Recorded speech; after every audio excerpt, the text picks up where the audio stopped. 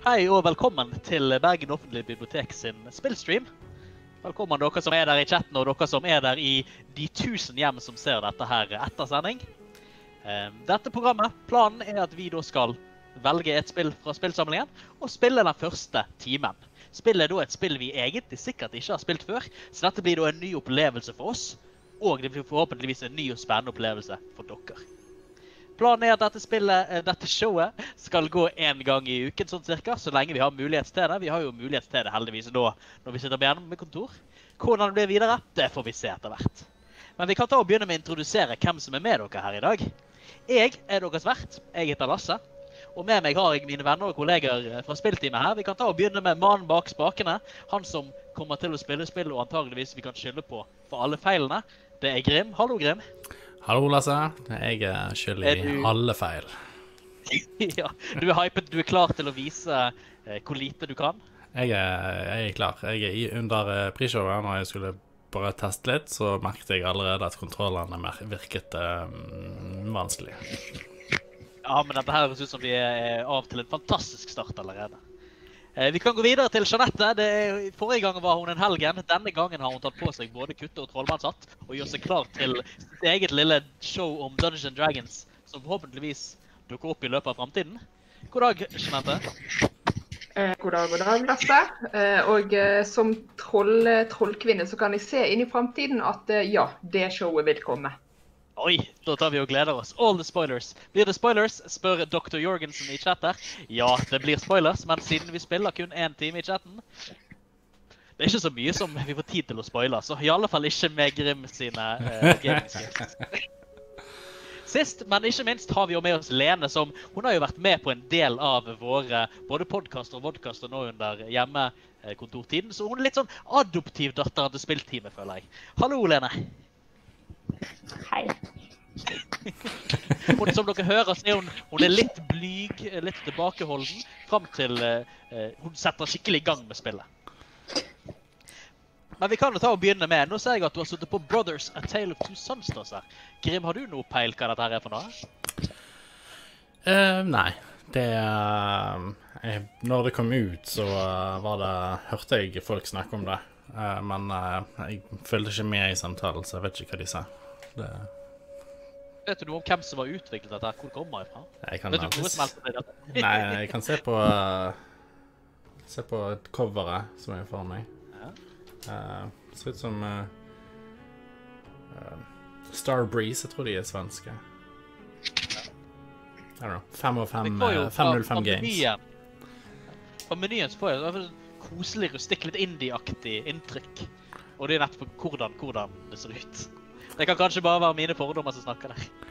Ja, nei, altså hvis du, hvis du får coveret Hvis du får spillet ditt uh, publisert på disk, uh, så føler jeg at uh, da er indie-stempelet litt uh, lenger vekke enn enn ellers. Ja, you've made it, når du liksom ikke bare legger ut noe digitalt på internett, men du faktisk, noen har trykket opp og distribuert det til butikken. Jeg er enig med deg. Ja.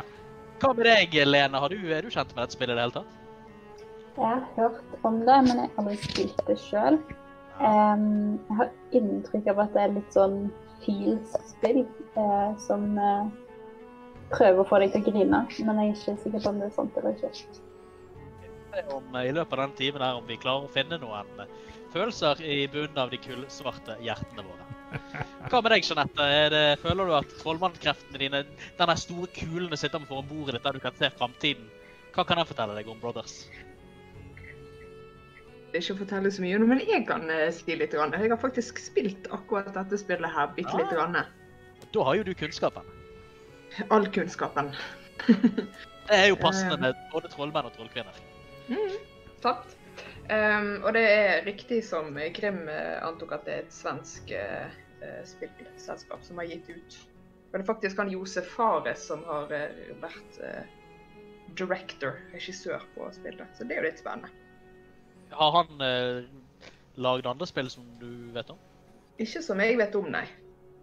Eh, Det er et nytt navn til meg, så jeg kjenner jo ikke denne personen eller eh, arbeidet til denne personen. Så jeg har dessverre ikke noe sammenligningsgrunnlag. Jeg kjenner heller ikke til dette spillet her, eh, foruten at jeg har sett bilder av det. Og det har heller liksom aldri vært omtale om det som har dratt meg inn. Så det har egentlig gått litt under radaren, men litt sånn som med The Surge 2 forrige gang. Jeg forventer jo da at dette her er en helt annen sjanger. Eh, På hvordan liksom det visuelle uttrykket og liksom den litt rolige musikken vi har hørt så langt. Men eh, vi får se hvordan det egentlig funker. Vær så god, Grim. Du kan ta og sette i gang galskapen her. Da har jeg trykket på Annie-knappen. Uh, new, uh, new game. Lose all progress. Yes, I wish. Veldig fine, myke farger og mykt lys så langt. da. Mm. Hjemmekoselig. Det er hva jeg tenker når jeg ser det huset i bakgrunnen der. Er det sånn verden der ute ser ut nå for tiden? Ja, når jeg ser ut hagedøren min, så er det Ja, det er faktisk litt sånn den eksen min.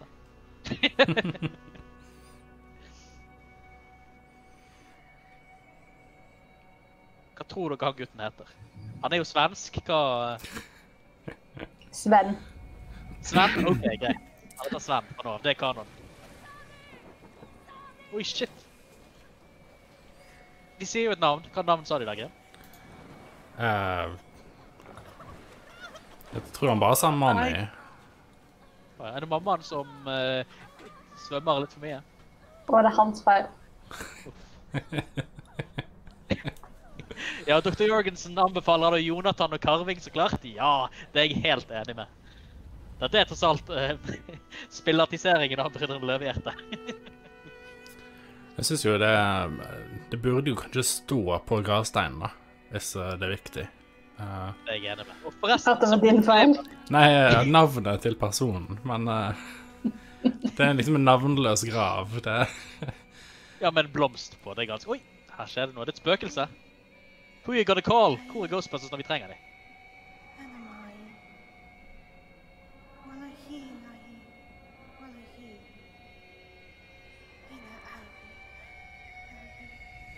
Er dette nok et tilfelle av fantasispråk i videospill? Jeg tror det. Jeg syns, jeg syns hun sa lilla karving inn, kavring inni der. Altså. Så det kan være at Dr. Jorgensen har rett der. Men ja, som rask disclaimer her, dette er faktisk ikke en remake av Brønn Løvehjerte. Bare sånn i tilfelle noen ble forvillet av, av eh, min forståelse der nå i sted. Bare for å understreke det. Men hva syns dere om, om det visuelle vi har sett så langt? Om stemningen til spillet? Hva med deg, Grim? Altså, hva inntrykk har du fått av, av det vi har sett så langt? Jeg er, jeg er veldig glad i denne typen uh, uh, grafisk uh, uttrykk, da. Det er, det er ikke liksom sånn superfotorealistisk, og Tegningene har en sånn mykhet rundt seg som jeg liker. Jeg føler veldig ofte så kan eh, denne typen spill eh, få veldig Ja. da. Jeg føler at denne typen grafikk er veldig fin. Det er vel kanskje enkleste å si. Ja, jeg er helt enig. Men hva, hva tenker du, Lene? Vil du helst ha liksom litt mer fotorealisme, eller føler du at litt mer sånn eh, malete, maleaktig filter eller utforming av teksturen som de har nå, egentlig er bedre for denne typen stemning? Altså, Hvis du skal få meg til å grine alle følelsene mine, så hjelper det når det ikke er helt fotorealistisk. For da kan du ikke gå tilbake og spille det eh, fem år seinere, for da ser det ganske dårlig ut. Ja, det er jo helt sant. Teknologien, altså det er jo noen visuelle uttrykk som holder seg mye bedre. Eksempel hvis du spiller et klassisk Super Nintendo-spill med sin så klart primitive 16-bit-grafikk, så vil den grafikken være sånn som alltid vært. Og det liksom fordi det er så primitivt, så vil ikke den ta, historien vil ikke ta så mye skade. Fordi når du har sånn der Uncanny Valley pseudo-fotorealisme, så pleier det, som du sier, å ikke eldes veldig godt. Hva med deg, Jeanette? Er du, eh, er du glad i cutting edge fotorealisme, eller tenker du at sånn her estetikk som dette her har sin plass? Uh, akkurat i dette spillet her så tenker jeg at det er helt uh, perfekt uh, eh, grafikk. Um, ja, jeg er egentlig enig med alt det som Grim eh, sa. Alt som Grim sier, er du enig med. Det er godt å vite. Du har trollmann Ja. på din side, Grim.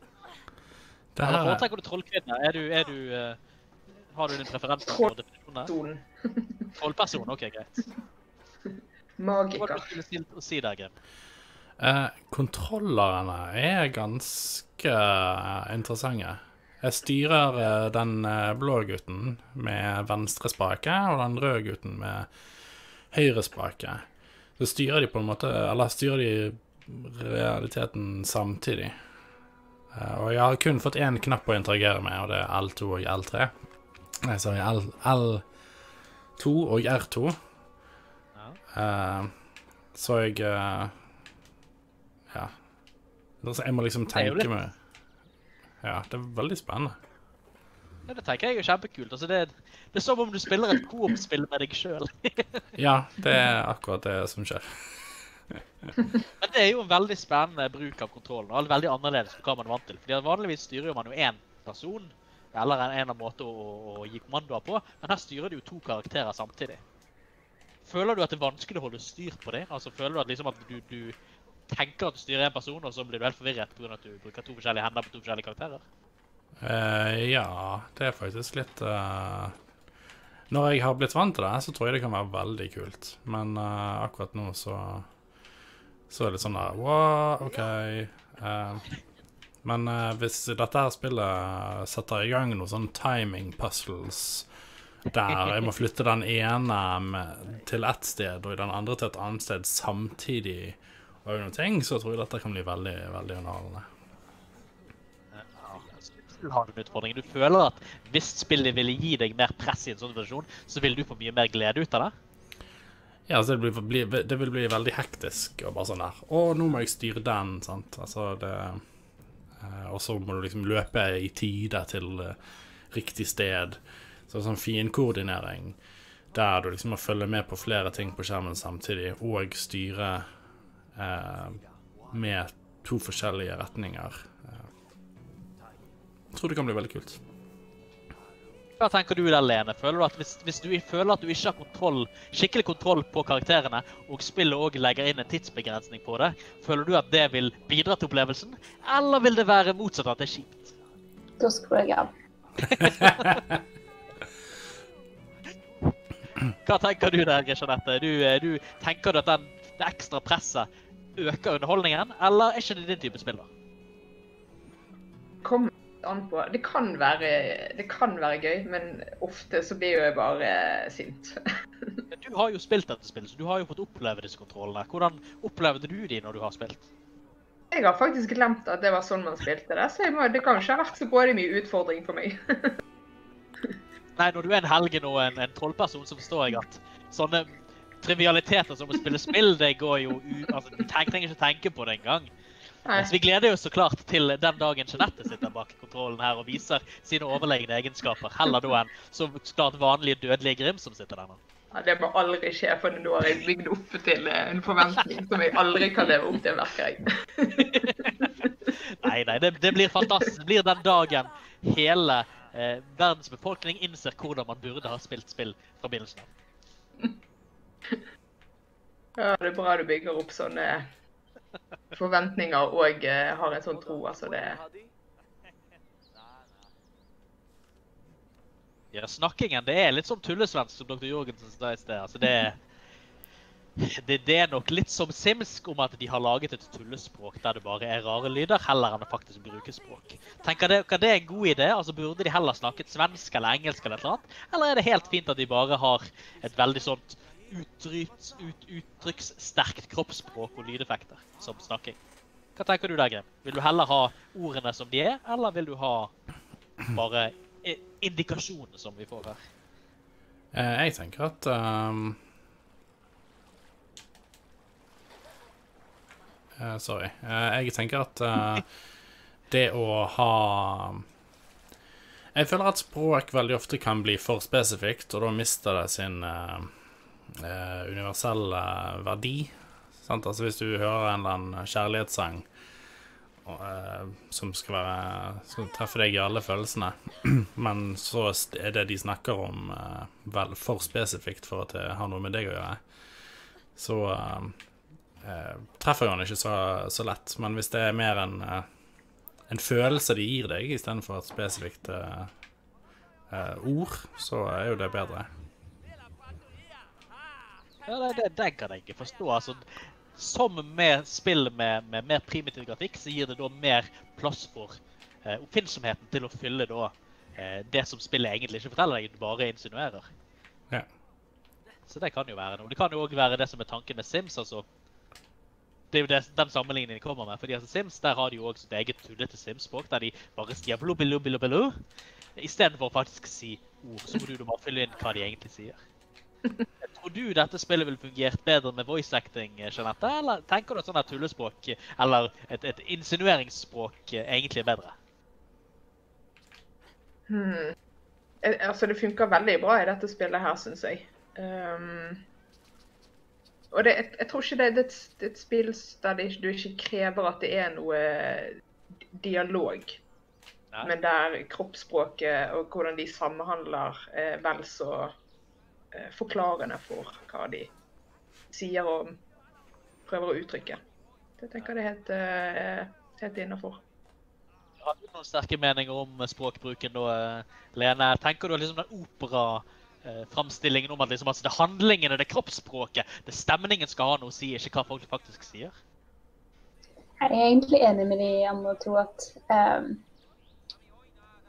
det er lett å forstå hva det går i, eh, men òg det gjør det lettere for produsenten å bare sende spillet rundt i hele verden uten å måtte tenke på sånn OK, hvis, tekst, hvis, hvis de bare snakker svensk, liksom. Eh, det er ganske mange i verden som ikke vil skjønne det. Eh, og noen vil jo kanskje bli irritert, selv om de ikke trenger å skjønne hva som sies. Bli irritert fordi de ikke skjønner det. Ja, absolutt. Lokaliseringen er jo en ting at skal man oversette det på x forskjellige språk fordi dette skal distribueres i verden, så vil det jo bli så mye arbeid når du også skal måtte oversette all dialogen osv.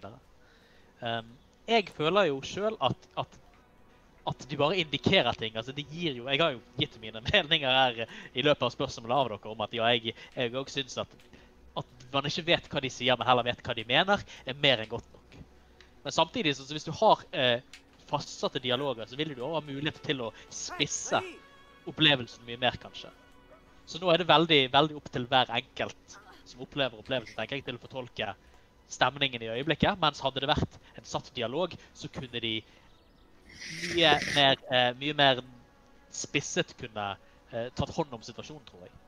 Så det kommer både med positive og negativer.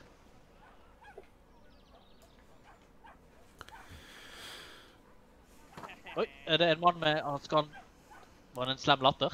Ja, han uh... Samme kjipe fyren som uh, driver og tuller, tuller ting til hele tiden. Nei, slipp ut hundene. Oi, han er redd for hund. Det er en sånn amerikansk bulldog, vi ser det er. Nei, det ser ut som en cocker spaniel. Ja, vi hadde quiz på, eh, på- på jobben her nå i lunsjen, og da eh, var det annet noen dyrespørsmål som ingen klarte. eh, I alle fall ikke jeg. Fordi når det kommer til dyrespørsmål som ikke omhandler katter, så er jeg nok ikke så veldig begavet. Klarte deres gruppe noen av de hundespørsmålene, Lene? Jeg var ikke med på quiz, Du var ikke men jeg hadde garantert klart alle. Jeg er vokst opp på Animal Planet. Ja. Det er bra å høre. Nei, han kommer ikke seg gjennom de det gitteret. At du fikk mulighet til å rotere kamera um, her i sted. Ja. Yep. Prøver du å hinte til eh, hvor jeg skal? Uh? Nei, nei, nei. Jeg bare kommenterte deg at det, det, det åpnes opp nye måter å eh, ja, interakte med altså Vi vet jo at magikere med stor makt de, de har jo ansvar for sin makt, så de vil jo ikke direkte påvirke verden. De vil heller bare veilede og guide med, med subtile indikasjoner, ikke sant? det. Eller kan du ikke kommentere på dette, Jeanette? Akkurat, akkurat der kan jeg si at jo da, det stemmer. Hva er det du gjør på Grim? Jeg eh, lager uh, ro- mye moro. Det er åpenbart gutte, guttestreker, dette spillet her.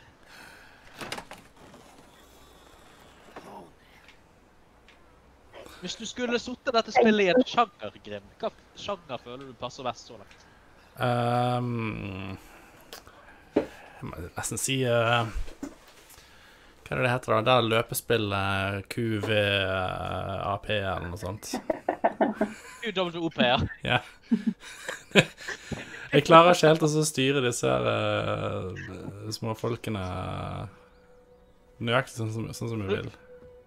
Så du føler liksom at å faktisk mikromanage de samtidig, det er det som er den store utfordringen her. Så det er liksom en eller annen sånn type, type eh, me mekanisk puzzle, hvis du vil kalle det det. Uh, ja Sånn som nå skal jeg liksom ned de trappene. Bare det i seg sjøl syns jeg er sånn her, OK. Enten så må jeg bruke, bevege én og én hele veien. Uh, da må jeg vise papiret mitt til deg òg. Det er sikkert bra.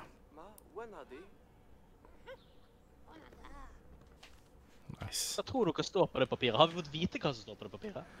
Det har noe med medisin til uh, faren eller noe sånt, kanskje? Ah. Jeg tror jeg har sett akkurat denne biten her. Jeg tror han som spiller fotball, jeg tror han kan ta ballen hans og hive den i en brønn. Nei, det er for slemt, altså. Føler du deg motivert til å gjøre kjipe ting i spillegrim? Eller ville du tenkt at det er et overtramp? Det er ikke noe du vil gjøre? Du Jeg ville vil, aldri funnet på sånne ting. Det er helt utenfor min karakter. Hva med deg, Helene? Det virker... Nei, Helene, jeg. Hva med deg, Lene? Det virker jo som at det, eh, det var en tanke som appellerte til deg på en eller annen måte. Ville du gjort det? Ja, definitivt. Hva med deg, Jeanette? Du, eh, hvis du spiller et spill med sånne moral, moralvalg, eh, hvordan pleier du da å følge? Pleier du liksom prøve å spille snilt? Pleier du å spille slemt? Vil du spille på en måte du ikke klarer å spille på, eller har du liksom heller at du minmakser at du går etter det som du vet du får mest belønning? Siste, da. Så du går veldig da etter systemet da heller enn en rollespill-innlevingen, tenker du? Gjør jeg nok det nå når jeg tenker meg litt om. Jeg skulle ønske at jeg eh, noen ganger bare kunne være kjip og kjøre Renegade all the way. Men um, ja. Ja, da, jeg tenkte jo så klart på, på Mass Effect og Dragon Age og tilsvarende spill med et veldig sånn svart-hvitt moralsystem når jeg nevnte dette her, for der har man ofte mulighet til enten å være da, den snille som hjelper alle og egentlig er ganske kjedelig, eller være den litt sånn småkjipe sarkastiske som egentlig er mye, mye mer interessant å spille. Det er iallfall det som er, er det vanlige i Mass Effect. Eh, Men du har òg noen spill der det, det handler om altså, Det er ikke bare at du er kjip eller snill, men liksom at du gjør direkte slemme ting. Personlig har jeg ofte problemer med liksom å gjøre de slemme tingene i de spillene, fordi jeg, har- jeg syns det er for kjipt. Har dere de, de vegringene? Hva med deg, Jeanette? Hvis du blir presentert over muligheten til å gjøre noe kjipt i et spill, eh, pleier du å kunne gjøre det hvis du får en god belønning, eller føler du allikevel at det er en, en, en, en blokk der et eller annet sted? Jeg kjører på. Eh, Det må jeg bare innrømme. Ja, jeg eh, stjeler og myrder og hvis, hvis, det, hvis det kan gi meg eh, et bedre våpen eller et eller annet på andre siden, så er jeg nok litt uh, der, altså. Nei, eh, en magiker bryr seg så klart ikke med, med mundane ting som liv og død. De tenker jo så klart på målet i slutten, så den forstår jeg. Men hva med deg, Lene? Henger du deg opp i sånne moralske forestillinger som rett og galt, som være snill eller slem? Jeg tror jeg bare gjør det som er gøyest. spill, vel å merke. Hva var det du sa der? Jeg tror jeg bare gjør det som virker mest gøy å gjøre i øyeblikket. Og så du ser du etter det du forventer skaper en gøyest konsekvens? Ja. Så i Fallout så velger jeg alltid sarcastic. Så da òg i dette spillet så ville du ha tatt fotballen fordi det genererte da en ny spennende situasjon? Ja. Ah. Hva med deg, Grim? Spiller du særlig spill med, med sånne moralske valg, og hvordan forholder du deg til det? Um, i, eh, jeg spiller i hovedsak kun sånne spill hvis jeg spiller rollespill uh, med terninger, sånn penn og papir. og da uh, er jeg nok mer i den ambiguøse varianten. At uh, jeg er gjerne mot uh, autoritet hvis jeg kan, men ikke på død og liv. Så du liksom du, du, du faller på, uh, på livsholdningen, som var ordet vi fant tidligere. Uh, Chaotic good. Du, liksom, du forsøker å hjelpe der du kan, men du hjelper ikke bare fordi andre sier det. Ja, noe sånt. OK. Hvis du skulle lagt deg sjøl på en livsholdning, Lene, hva ville du føler du hadde passet best for å beskrive deg?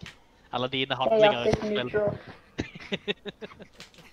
Hva med deg, Jeanette? chaotic good, tror jeg, altså. Ja. Jeg Jeg skulle ønske jeg var- den, Skulle ønske jeg var chaotic neutral. Jeg spiller en karakter som er det, og det er ingenting som føles så bra som å bare gjøre akkurat som man vil. Eh, Dette vi snakker om, for dere som ikke forstår, er jo eh, alignment-systemet i Dungeons and Dragons-universet, som er da en, en grov framstilling på både din livsfilosofi og da din plassering i, liksom, i verdens eh, meta-univers. Eh, og det skal være kaotisk betyr at man ikke forholder seg til etablerte regler, heller følger da egne eh, regler i hjertet. Eh, Hva som er gode videre, det klarer dere, dere sikkert å eh, resonnere dere fram til sjøl. Så hva, hva, hva er du sjøl? Jeg er. eh, Det har jeg skutt. Nei, det har godt. Jeg er veldig situasjonsbestemt. Så jeg liksom, av og til kan det være helt i orden å ta livet av den lille, lille bonden som prøver å holde liv i gården sin. Av og til kan det være helt greit å ta livet av den slemme keiseren. Jeg vet ikke. jeg. Jeg tenker at det er så mye kontekst Stjele en sau? Stjeler du en? Det, What are you doing? sp- Spillet gir meg muligheten til det, så da må eh, Må jeg jo nesten Når du separert den ene sauen fra resten av flokken. Det er slam. Sjekk her, da, folkens. Sjekk her. Ja. Hvis du putter den inni der, tror du Ja. den løper da som et hamster? Selvfølgelig. Oh yeah. Puzzle solving uh, kurs 201. Ja, for når jeg spurte deg om sjanger, så forventet jeg egentlig at du skulle si puzzle som, eh, som den sjangeren du forventer. For det er sånn det jeg tolker så langt. At det er en, det er en haug med sånne små puzzles som du må løse med disse to karakterene. Ja. Og det tror jeg er. Jeg må bare snu kameraet. Altså, klart, Den der eh, QWOP-sammenligningen er jo veldig veldig passende, som jeg ikke hadde tenkt på. Eh, QWOP er jo et spill der det, du spiller en, en løper, en som skal løpe i et olympisk løp eller et eller annet. Eh, og du styrer da med kontrollene QWOP på et tastatur. Eh, disse knappene styrer da forskjellige kroppsdeler. Eh, så det er kne, det er fot, det er arm og det er torso eller noe sånt. Så skal du da prøve å holde balansen på denne personen og bevege beina hans mens han løper så raskt og raskt som mulig for å nå mål. Eh, det vanlige resultatet av dette er jo at du går dundrende i bakken med en gang uten at du har kommet deg en meter framover. Fordi det er umulig å styre alle disse kroppsdelene på en måte som funker. Eh, det er jo kommet et norsk spill med tilsvarende mekanikker. Manual Samuel. Eh, Det var det jeg skulle til å spørre om. ja, du har, spilt, har du spilt det, Jeanette? Jeg har det. Ja? Hva syns du? Det? det er helt sjukt. Eh, og der, men der skal ikke du bare liksom eh, holde ryggen oppreist og bevege føttene og Du skal blunke og puste i tillegg. Det Ja. det er helt crazy. Det er kjempegøy. høres, det høres absolutt ut som det er et nivå lengre på den uh, motorikkutfordringen, motorikkpuzzlen det dette spillet her er. Har du spilt uh, enten Manual Samuel eller tilsvarende spill du, Lene? Eh, jeg tror jeg har prøvd meg på den der med Q-up-greia. Men jeg føler jeg har spilt i virkeligheten hvis du begynner å tenke på hvordan du puster og går. Jeg syns egentlig, at- jeg syns egentlig at dette her minner meg veldig mye om, eh, om ICO, egentlig. Hvis noen av dere har spilt eh, det. Gammelt eh, PlayStation 2-spill som har blitt eh, re-releaset både til PlayStation 3 og til PlayStation 4. Du fortelle litt mer om det? Altså, det er et eller annet som gnager i baksiden av hodet, men jeg får ikke noen plass på det. Du spiller en liten uh, Det er sånn tulles, tullesvensk uh, der òg. og så spiller du som en eh, Du spiller som en person, og så finner du en annen person som er hjelpeløs, og du må liksom leie rundt. Og så kan du få den andre personen til å stå på knapper for å løse puzzles. Eh, og det har veldig fokus på estetisk eh, eh, stil mer enn realisme. Så selv om det har blitt eh, Selv om det kom til PlayStation 2, eh, så eh, ser det fremdeles ganske nice ut. Er noen av dere andre kjent med IK? Lene eller Jeanette? Jeg tar det som et nei. altså. Dumme bare. Ikke spilt det. Nei, ikke jeg heller, altså. Så det, det er åpenbart noe som må googles i ettertid. Ok. Nå har du fått deg en stor kompis, ser det ut som. der. Ja. Oi. Oi. Nobody tosses a Wow. dwarf. Han Ja, nå troller er det- meg om vaktmesteren. Hvilken vaktmester? Han på hovedbiblioteket. Han som bor i kjelleren, tenker du? ja. Han som bor i magasinet? Eller er det spøkelsene jeg tenker på nå? Alle bibliotek med respekt for seg sjøl har jo minst ett spøkelse i magasinet sitt. Om Bergen Offentlige Bibliotek eh, er et unntak eller en bekreftelse av regelen der, det må du nesten få med å se når vi åpner magasinet for publikum eh, når de er ferdig med utarbeidingen der. Nice Men du kan, du kan glede deg. Segway King. Han er ganske hjelpsom, han der eh, vaktmesteren. Det skal han ha. Mm. Kanskje jeg kan prøve å ta med meg uh, IK til uh, neste gang. Ja, ja, vi kan se på det iallfall. Så langt uh, merker jeg at dette spillet altså, Jeg forventer litt mer fart og spenning i spillopplevelsene mine. altså. Det er litt treigt så langt. Ja, men det er jo Føler en opplevelse. Du, du, du, sitter jo, du sitter jo med kontrollen. Du får jo en helt annen innlevelse i dette enn det vi gjør, Grim. Hva tenker du? Uh, altså, det er treigt for så vidt, men uh, det er Det er spill som en opplevelse mer enn som en eh, Føler du at du har nok å, ta, no- nok å gjøre, nok til å, å holde deg engasjert? Ja, egentlig. Det er ganske um, Altså, fordi at Å ja, vi skal gå over skuldrene hans. Ja, fordi det at det. er, det, det, er liksom, det er en slags kamp, da. Eh, en gøy kamp, for så vidt. Å finne ut av hvordan jeg skal styre de forskjellige karakterene. Siden liksom Muskelminnet mitt er jo dannet av eh, know, 20 år med med forventninger der hvis jeg flytter på ene spaken, så flytter eh, alt jeg trenger å tenke på. Eh, mens her må jeg flytte på begge spakene. Ja, det er jo en, så vidt jeg forstår, så er det en veldig veldig annerledes måte å kontrollere eh, karakterene på, siden du har flere enn én, enn det man er vant med. Liksom Venstrestikken typisk er at du beveger deg, og høyre stikken er at du flytter rundt på kamera. Men her er det jo at du bruker begge to til å bevege deg. Ja. Og da, som du sier, hvis det ligger i muskelen min at du, du bruker den tradisjonelle kontrollen, så vil du bli veldig forvirret veldig raskt, tenker jeg. Ja, nei, jeg, eh, jeg trodde jeg skulle eh, ta, ta dette her eh, en del raskere enn det jeg gjør, men uh, um, det er fremdeles litt sånn der Hvorfor beveger den karakteren seg sånn, og hvorfor beveger den karakteren seg sånn? Og så bare sånn Å, riktig, jeg styrer jo med de forskjellige spaker.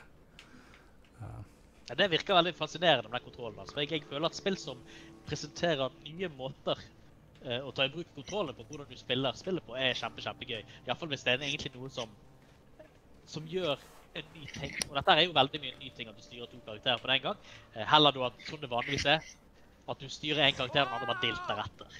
Wow.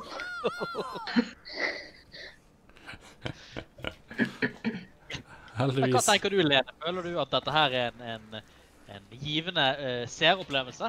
Eller ville du heller hatt at det er litt mer som skjer? Jeg syns det er ganske sånn chill å se på. Jeg lurer også på om det hadde vært veldig gøy å spille som to folk på én kontroller. Ja, Det høres jo også spennende ut. For så langt, Grim, har du brukt flere kontroller nå enn en, uh, left og right stick og den right to og left to? Eller er det kun de knappene du bruker fremdeles? Det er kun de knappene. Så det er Det er ikke eh, Det er jo fra, fra kontrolleren sin side så er det veldig tydelig at dette er det spillet jeg går ut på. Vi har ikke lært noen nye Oi, hva skjer? Hvorfor vil han ikke. Ja, altså, vi har, ikke, vi har ikke fått flere interaksjonsknapper å bruke, så da er det sannsynligvis ikke så veldig mye mer å forvente heller. Nei. Du, Jeanette, du har jo spilt dette. Følte du at, at Kom du inn i kontrollen? Du, hadde jo glemt Wow. du hadde jo glemt at det var en greie. Uh, jeg tror jeg kom forholdsvis greit inn i det, sånn som jeg kan huske. Men kanskje jeg, For jeg ser at Grim eh, går veldig mye at begge to skal gå samtidig. Jeg lurer på om jeg kanskje gikk den ene og så den andre. Så tror jeg kanskje jeg gjorde litt mer ting i landsbyen. For jeg lurer på om ikke jeg uh, Ja, jeg lurer på om du har hoppet over et par ting du kan gjøre, da. Ja, nei, altså, jeg eh, prøver jo også å finne denne medisinen til, uh, til Daddy-O. Kanskje Du har hastverk. Jeg Ja, nei. Jeg skjønner. Ja, nei, Grim, Grim går for speedrunningen, ikke for completionist. Ja. I, I took my sweet time. So. Ja, nei, jeg merket det sjøl at når jeg gikk forbi den landsbyen, så var det veldig sånn Å ja, jeg kan sikkert få interaksjoner med alle de forskjellige landsbybeboerne. Uh, men uh, tenkte at kanskje vi kan uh, eh, spare noen av opplevelsene til eh, eh, seerne, sånn sett. jeg er en trophy hunter, så Ja, men altså, når du er en magiker, så har jo ikke konseptet som tid noe å si, for da har du jo all tiden i universet. Og da har man tid til å sitte ned og spille gjennom et spill 100 mm, Godt sagt. Jeg er jo dessverre redd for at dette spillet gjør sånn som eh, andre spill, at det bruker en god stund til å bygge liksom opp spillverden, gi de god forståelse og tilknytning til personene og til omgivelsene, og så knuser de alt sammen med en dramatisk hendelse. Bare da for så klart å spille på hjertestringene. Eh, nå nevnte jo, jeg tror det var du, eh, eh, Grim, som sa at dette var et sånt spill som skulle eh, treffe oss i følelsene. Det var eh, Lene som eh, nevnte det. Det var Lene som nevnte det, ja. ja for da kan det hende at det bare her er, er Det skal gi oss en falsk trygghet. Hva tenker dere om det? Tenker du, Lene, at dette her er bare er, eh, De forleder oss til å tro at dette her er bare fryd og gammen når vi løser problemer, og så kommer vi egentlig til å virkelig eh, innse tåpet av vår, eh, at, vi ikke bør være så lystige som vi er? Det er helt sikkert. Det er jo svensk, så altså Ja, du føler at svenske kulturprodukter pleier eller bør være deprimerende? Får meg til å grine oftere, jeg vet ikke. Altså, Hvis dette er noe i nærheten av Brødrene Løvehjerte, så vet vi hva vi har i vente. Det er helt sant. Eller, eller Mio min Mio, eller altså mm. Mange ting å fått sånn ta. Mm -hmm. mm -hmm. Hva var det du sa, eller hva var det du sa Lene? Jeg får sånn eh, Dwarven Ruins i Skyrim. Ja. Ja, jeg er helt enig. Det, danser. ja, for settingen så langt, altså det ser ut som bare en av type middelalder landsbysamfunn. Eh, men så plutselig er vi da kommet til noen sånne ruiner med noen, noen store tannhjul og sånt. Og det er jo veldig utypisk fra det vi har sett så langt. Det er, liksom, det er vanlige mennesker i en landsby, og det, er noen kjemper, noen mytiske kreaturer. Men nå er det plutselig teknologi og greier som indikerer noe annet. Hva er det liksom du bærer rundt på nå? Er det en, er det, er det en kjevle? Er det kanskje en sikring? Gud vet. Ser du ikke det, Lasse? eh, kjempen. Ser du ikke hva det er, Lasse? Det er en uh, Det er en jerndings. Det er en torpedo. Du er rett og slett i en ubåt. Ja, dette her ser det ut som at dette her er noen dynamoer eller et eller annet i det røde greiene. Da føler jeg at, at settingen fikk litt mer, eh, litt mer krydder i seg, fordi plutselig var det noe som var litt uventet. Noe som, som eh, brøt med forestillingen så langt. Ja, for trollet var jo bare helt sånn Ja, men altså, det er jo bare en del av en vanlig fantasy. fantasy altså, hele greien er liksom veldig sånn der folketro, mytisk, en sånn tilbake, tilbaketanke om hvordan det var i gamle dager, folk trodde på troll og den type ting. Når det fantes troll, mener du? Ja, dette her vet jo du Oi! Dette her vet jo du mye bedre enn oss, eh, Jeanette. Ja. Myte Det var ingen myte. Nei, det er godt. Sånn det var. Da har dere eh, sannheten her, eh, gutter og piker, alle der i de tusen hjem. Troll var en ting før i tiden. Da vet jo du òg, Jeanette, hva skjedde med trollene? De er satt. Det er bare mye færre av de. Ja, Har ikke du sett uh, Trolljegeren, eh, Lasse? det har jeg. klart, Med OJ the Man. Mhm. Det er basically en sann historie. Ah, OK, OK. ok. Nei, det er godt å få det bekreftet. Ja. Ja. Ja. Å ja! Å ja. Å, To, altså. OK. Det- Men Hæ? Men han store gutten peker av og til. Det er du som trykker på en knapp for å få til å gjøre det. Ja. Jeg trykker Ja. på den ene knappen eh, jeg kan. Å, oh, der, ja. Så en av gimmicksene hans er da at han, eh, han kan vise deg hvor du skal. Tror jeg. Er det det som er clouet der? Ja jeg, jeg har ikke utforsket eh, den delen av det spesielt.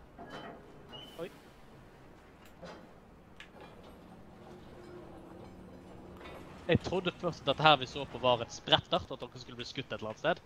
Men den gang ei. Komplisert rosesystem. Det er nok noe som de trenger to brødre til å utføre, ser jeg det. To De, eh, eh, den eldgamle, den eldgamle maskinrasen som bor her åpenbart har gjort noen veldig eh, bestemte design her i, i forsvarsverket sitt.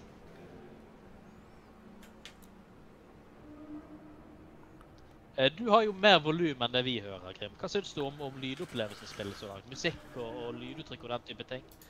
Kan gi dere litt mer passer eh. Hvordan, lyd. jeg stemning gir det.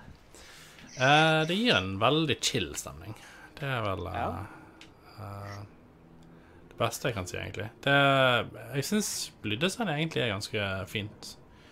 Det er Det gir eh, Det gir følelse av at eh, Altså, det er ikke sånn eh, Det er ikke drum and bass i bakgrunnen. Det er um, Det høres ut som, om, at- som at det er noe fantasyaktig.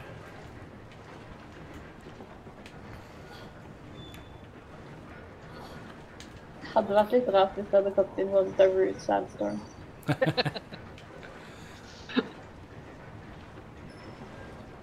Ja, nei, altså Hele stemningen så meg også virker som den er sånn veldig koselig.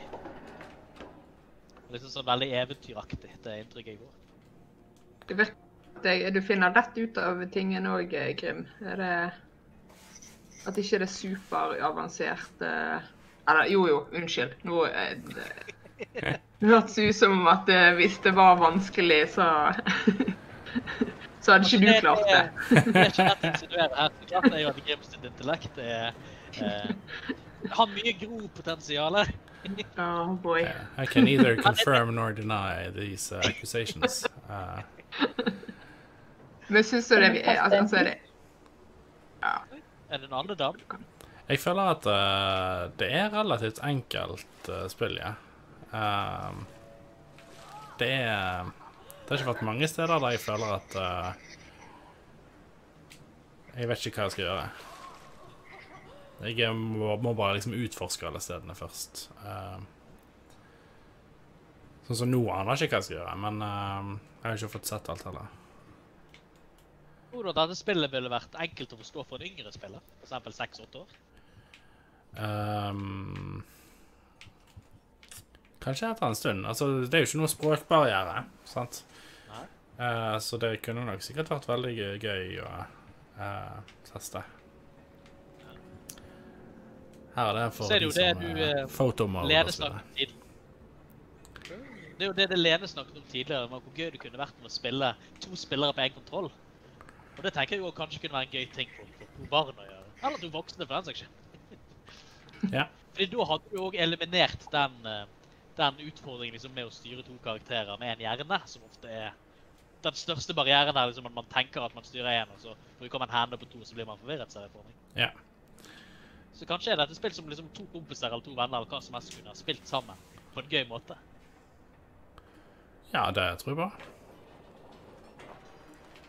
Du får ta og uh, rekruttere katten din, Grim, og se om Ja, for Grim har jo ingen personer som har bor sammen med sine Nei, nei, nei, nei. nei altså, Konen hans uh, ville klart dette alene, så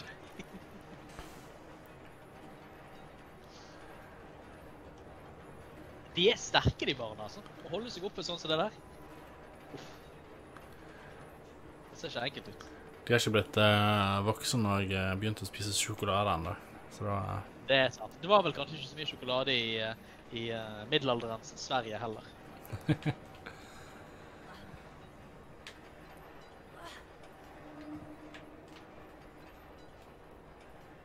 Men jeg lurer litt på hvor de barna her går. Det ser jo ut som de har begynt å gå eh, Jeg vet ikke hvor de er. Altså, de, får, de blir løftet av et troll, og plutselig er de kastet inn i en rar ruin. Jeg tror ikke det her er medisinen Jeg vet ikke om dette er den vanlige ruten man skal gå for for medisin. er vel egentlig poenget mitt.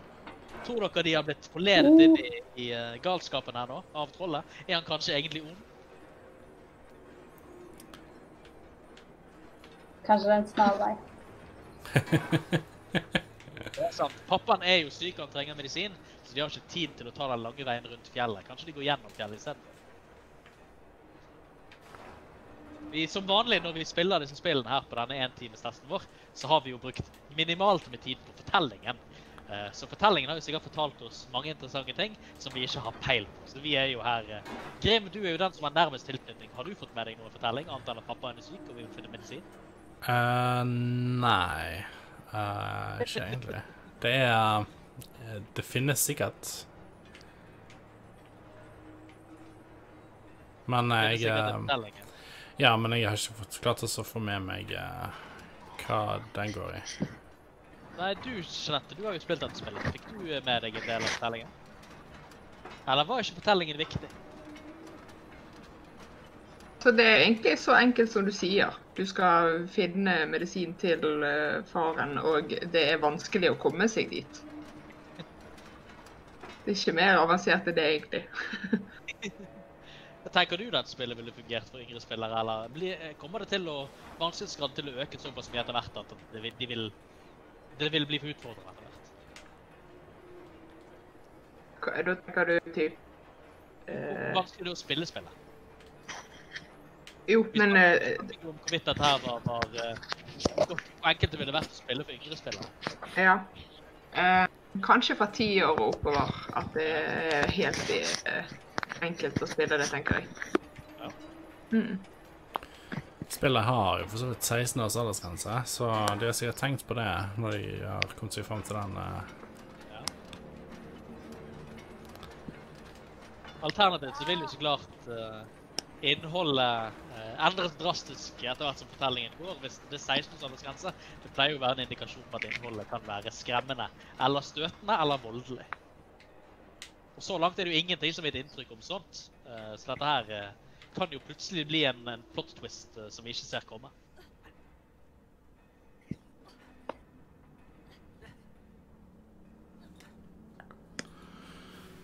Jeg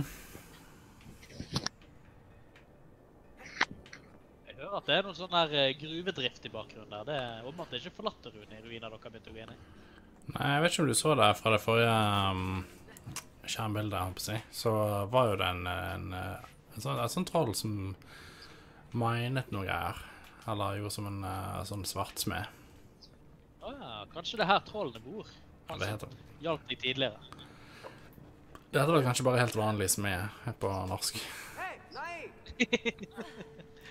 Ja, men en svartsmed er vel en egen definisjon av smed, tror jeg. Men jeg vet ikke om hvitsmeder er noe. Det er vel kun trollmenn som er hvit. Vet du noe om dette her, Jeanette?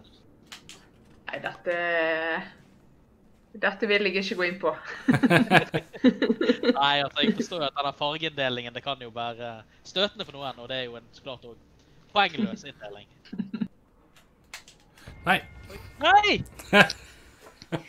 Ok, det, det, da ble det plutselig litt mer grimt. Death count one. Death count one. Yes. Ja, vi må huske en death counter neste gang. Det er jo det vi har snakket om hver gang vi har uh, satt i gang de vodkastene her. At vi burde ha en liten death counter nede i hjørnet som forteller oss hvor mange ganger Grim har dødd da i løpet av denne sendingen. Vi burde kanskje òg ha liksom en samlet death counter over alle programmene. Jeg tenker at det kunne vært interessant. En uh, year in review. Uh, biblioteket spiller. Ja, en, en, uh, The tag of shame, kan vi kalle det. Så her ser du da en sånn Der nede ser du da to troll. Tre troll, faktisk. Som driver og eh, jobber ting og tang. Mens disse ungene driver dank. Fire. Og da kan vi jo få inntrykk av at dette her er trollet sitt, sitt land du er inne i.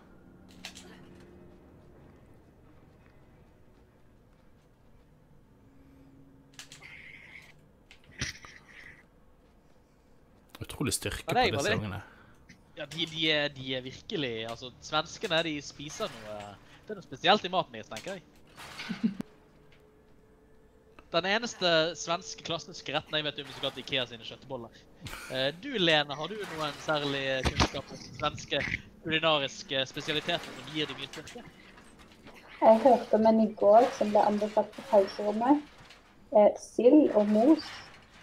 Ja vel. Høres ikke det deilig ut? Ja, jeg får sterke følelser av det, iallfall.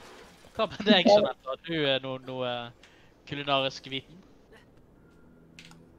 Det eh, jeg har hørt om som kanskje kan gi deg en eller annen form for superkrefter, det er jo det surstrømmingsgreiene. Ja, nei, Som det er jeg, Den har jeg hørt om, og det høres ut som kun noe de tøffeste klarer å utsette seg for. Eller ønsker. Jeg tror det. Så jeg, det kan godt hende at disse her to guttene nå har blitt oppdratt på ingenting annet enn surstrømming. og Det er derfor de er så beinharde. Oi! Nå var det drama. Jeg sa nei. Det er liksom det er bruddstykker av ord som kommer gjennom av og til, som man kjenner igjen. Dette ga meg litt Ringenes herre-assosiasjoner. Ja. Kjerringa i bur. Nobody puts baby in the cage.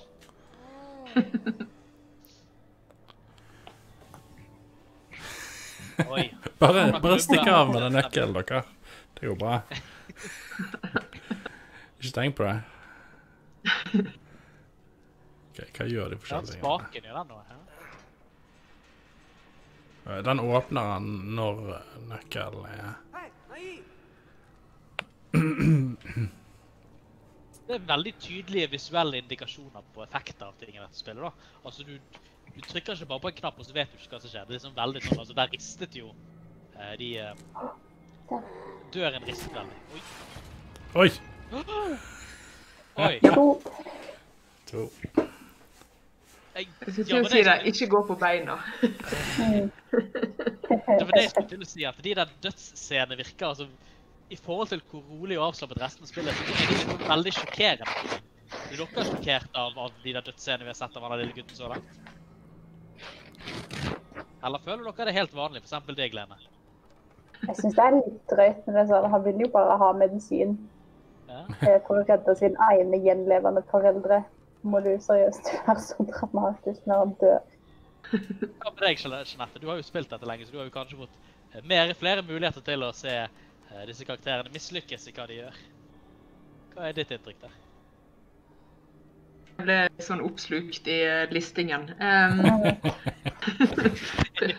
følte at jeg ikke kunne snakke, for det, ville ødelegge alt. Er veldig, veldig stille når dette skjer. ja. um, jeg, tror, jeg tror det kommer mer sånn brått på enn at jeg blir sjokkert. Jeg bare sånn uh, og du tråkket på noen bein? Vosj, der kom det en svær ding som bare eh, moste deg. Ja, for egen del så er det liksom litt annet. altså, du har liksom, det er liksom veldig, um, veldig, veldig sånn der eh, eventyraktig snilt greit, liksom, og du går rundt i en drømmeverden, og liksom to gutter, eh, to brødre som bare løser, løser utfordringer, løser puzzles sammen, og så plutselig dør en. Det er liksom veldig sånn, veldig dramatisk, føler jeg det. Så det, det akkurat den reaksjonen hadde jeg ikke forventet i meg selv. At liksom bare at de, de skal dø i et spill, eh, fikk meg til å reagere sterkt på det. Så det er jo spennende. Kanskje du fordi du hadde I begynnelsen så, så sa du sånn det er så rolig, og eh, at kanskje ikke du hadde forventet at, eh, at det kom til å skje. Ledet inn i en sånn falsk trygghet, tenker jeg. Mhm. Nå er det jo plutselig, nå leker dere med livet som innsats. Men kanskje det er det som tingen, altså først var liksom, altså det var en lek, det var ikke, det var ikke noe liksom innsats her. Men nå er det jo plutselig at nå er det liv og død. Ja, nei, jeg Um...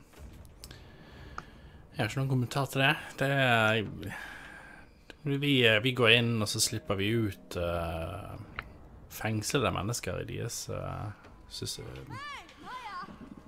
Kanskje jeg må trykke på en Altså, disse. hun var jo ikke et menneske, da, hun var jo et troll. Men vi, vi, det er sant at du går jo inn og, og tuller med deres rettssystem. Mm. -hmm. Jeg, jeg tror faktisk ikke at eh, Hvis han den lille gutten løper inn i buret Mm. Og så åpner du han store gutten døren, og så trapper du eh, ah, Er du med? Jeg er med. Ja, du skal lure han inn, og så kan lille gutten stikke av. Yes. Å. Men nå er jeg redd for at den lille gutten blir pannekake før du kommer så langt. Full kontroll. Føler du at dette her er utfordrende å gjøre, bare å styre begge kontrollene på en gang? Uh, litt, grann, men uh, hadde Jeg føler òg at uh, vanskelighetsgraden på den ogren er litt uh, Eller trollet er, er såpass lav at det ikke er noe stress. Kan du rope på kanskje? Uten å løpe. Åh! Ansikt.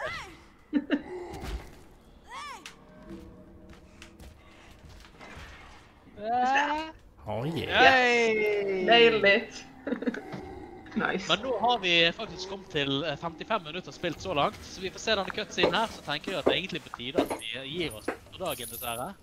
Ja. Hvis dere syns at dette her har vært en spennende opplevelse, du kan lure mer videre på hva som skjer, så er det så klart bare å eh, sende inn en e-post til eh, ditt lokale bibliotek hvis de har det på. Og så kan dere bestille. Fra, fra mandag så har vi begynt å med bestill og hent. Det betyr at dere kan bestille da materialet som er på deres lokale bibliotek, så lenge dere kan komme dere til det.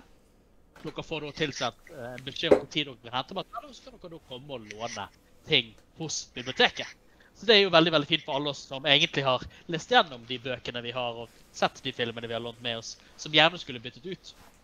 Og det er jo veldig fint at vi nå endelig får mulighet til å kunne låne ut deler av samlingen igjen som nå har stått og støvet ned i over en måned uten noe kjærlighet som man absolutt fortjener. Spesielt spillsamlingen, som alltid burde vært lånt ut.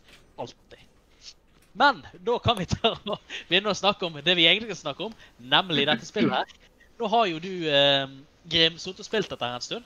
Eh, Førsteinntrykket ditt eh, snakket vi om i sted, men hva inntrykk har du fått av det nå? Eh, det er um, Jeg vil si eh, at eh, det, det minner meg ganske mye om om ICO, som jeg nevnte tidligere, som er en sånn PlayStation 2 Classic-sak.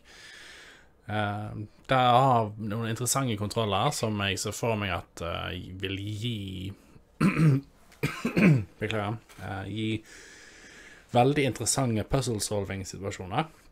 Og Jeg vet ikke hvor lang tid jeg hadde brukt på å finne ut uh, hva jeg egentlig skulle gjøre her, hvis ikke det hadde vært for at uh, Jeanette ga meg uh, noen uh, gode tips til å lure det trollet inn i, inn i buret. Så jeg ja, Inntrykket er at det virker veldig solid. Grafikken er bra, lyden er bra. gameplayet er veldig interessant. Og mer interessant enn masse annet jeg har spilt tidligere. Ja. Ja, vi kan gå videre til deg, Lene. Hva er ditt inntrykk nå av dette spillet nå etter vi har sett dette i en times tid? Jeg tenker jeg godt kunne eh, sett mer, men jeg vet ikke om jeg eh, er så veldig frista av den kontrollgreia til å spille det sjøl. Så du tenker kanskje det hadde vært gøyere å følge med på andre som spiller enn å spille det sjøl?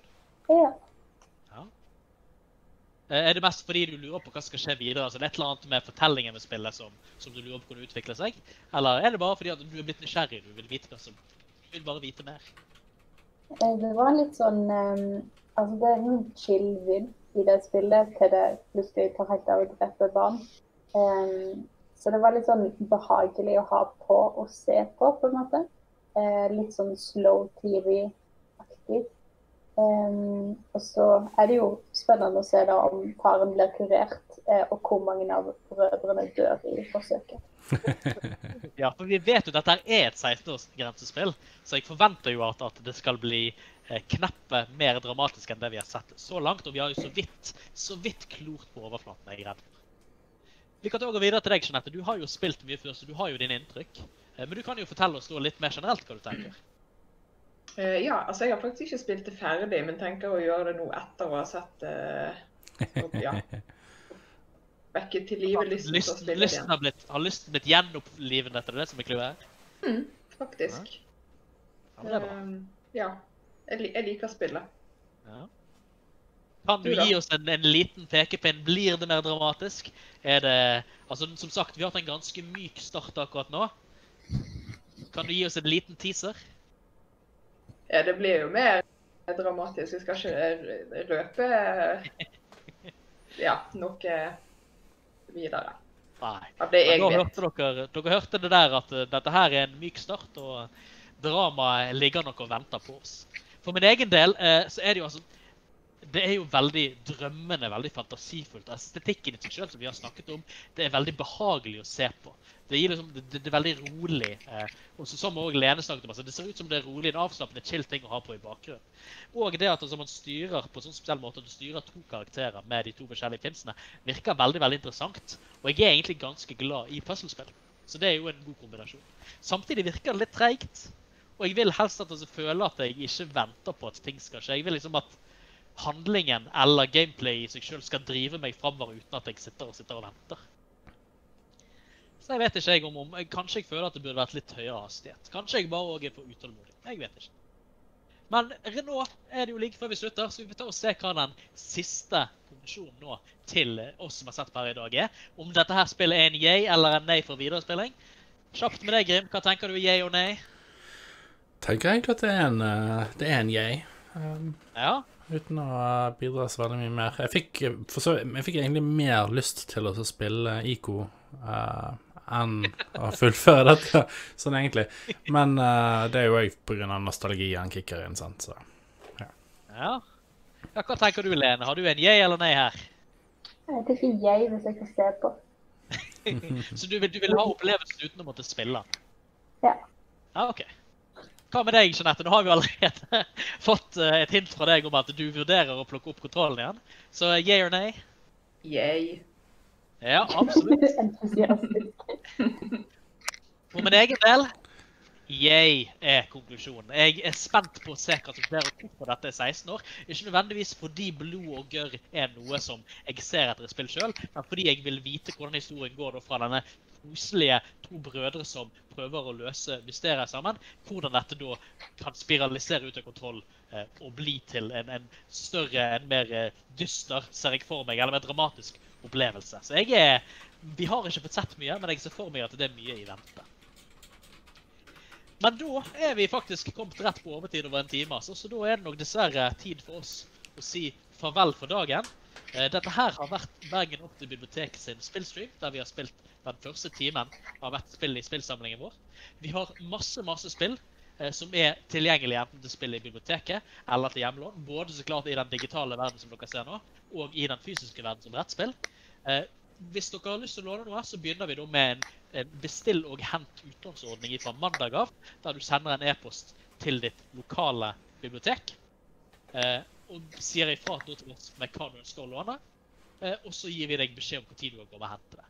Så hvis du eh, går inn på bergenbibliotek.no, eller går inn via bibliofilappen og ser hva som er tilgjengelig på ditt bibliotek, så er det bare å sende en e-post til ditt bibliotek og bestille og få en hentebeskjed på det.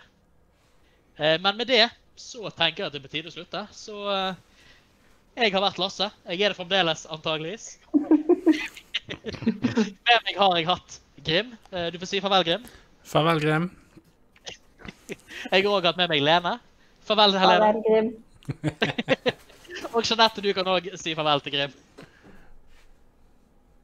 Nei, du kan òg la være. Det er òg helt lov. OK. Ja. Men med det, takk for oss og ha det bra. Ha det bra.